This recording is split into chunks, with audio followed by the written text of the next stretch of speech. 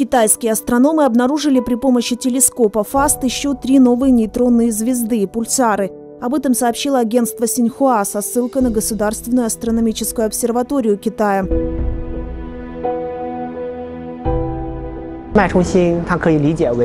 Думаю, в будущем подобные важные открытия примут регулярный характер, прокомментировал ученый Джан Шусинь.